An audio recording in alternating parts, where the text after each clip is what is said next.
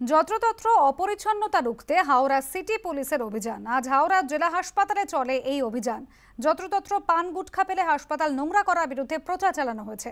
সুনীত হালদার আমাদের প্রতিনিধি রয়েছেন আমাদের সঙ্গে টেলিফোন লাইনে। সুনীত, কীভাবে চলল এই অভিযান? মানুষকে কি সচেতন করা গেল? দেখো অনুসভা আজ দুপুরবেলা হাওড়া হাসপাতালের চত্বরে হাওড়া সিটি পুলিশের পক্ষ থেকে এক স্বচ্ছতা অভিযান চালানো হয়। সেখানে যারা রোগীর আত্মীয়, যারা পান গুটখা খায় এবং যত্রতত্র পানের এবং গুটকার পি খেলেন, তাদেরকে ডেকে সতর্ক করে দেওয়া হয়। অনেককে যারা অফেন্ডার যারা অপরাধ করছে, তাদেরকে কিন্তু জল দিয়ে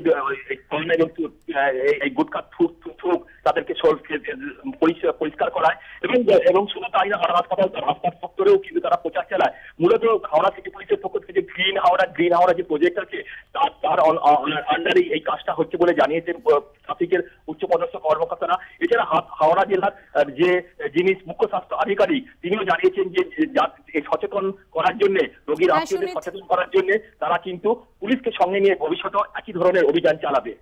ধন্যবাদ।